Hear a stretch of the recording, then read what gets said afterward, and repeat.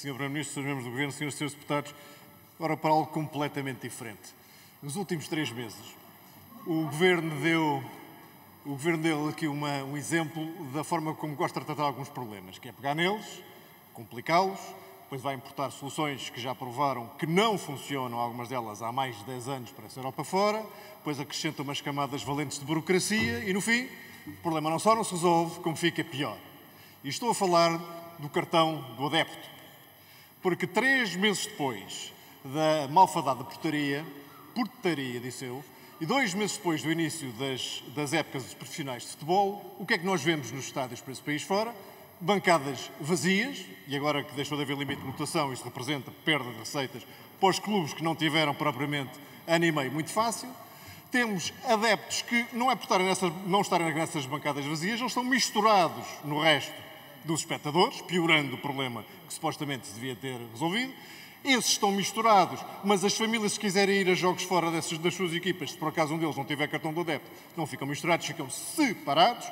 E tudo isto no meio de uma estigmatização, uma discriminação, cuja constitucionalidade nem vou para aqui chamar, mas deve haver alguma, relativamente aos adeptos de futebol, parecem todos uns bandidos. Portanto, resultado disto tudo enorme confusão. De antes para ir ver um jogo de futebol era preciso um bilhete. Agora, para onde o bilhete é preciso cartão de cidadão, o cartão sócio do clube, o cartão da claque e o cartão do adepto. Portanto, o Partido Socialista conseguiu esta coisa fantástica, que é transformar uma ida a um estádio de futebol bom prazer por uma coisa tão desagradável como é a repartição de finanças. E, portanto, Sr. Primeiro-Ministro, pergunto-lhe o seguinte: perante este autêntico fiasco que é a aplicação desta lei, nós já fizemos a nossa parte, que é submeter aqui na Assembleia da República um projeto de lei de revogação desta iniciativa do cartão do adepto. Pergunto se o, se o Governo, para acelerar este processo, e já que a época já vai uh, bem a caminho do seu meio, não quererá, uh, não quererá também acelerar essa, essa constatação e, e fazer a revogação de modo próprio. Muito obrigado. Muito obrigado, Sr. Deputado João Coutinho Figueiredo. Tem a palavra para responder Sr. Primeiro-Ministro. Faz favor. Muito obrigado, Sr. Presidente. Muito obrigado, Sr. Deputado João Coutinho Figueiredo. Confesso que não me sinto em condições de responder, mas fiquei vivamente impressionado pela sua descrição.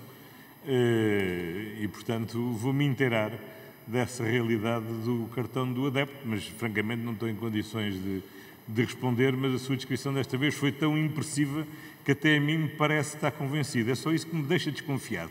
Em eu ter sido, em eu estar aqui a ficar convencido. Mas pronto, quer dizer, eh, não, não posso também ter aqui este preconceito de deixar que nunca tem razão. Se calhar, olha, foi desta vez que tem, vamos ver. Olha, mas prometo ir ver. Muito obrigado. Muito obrigado.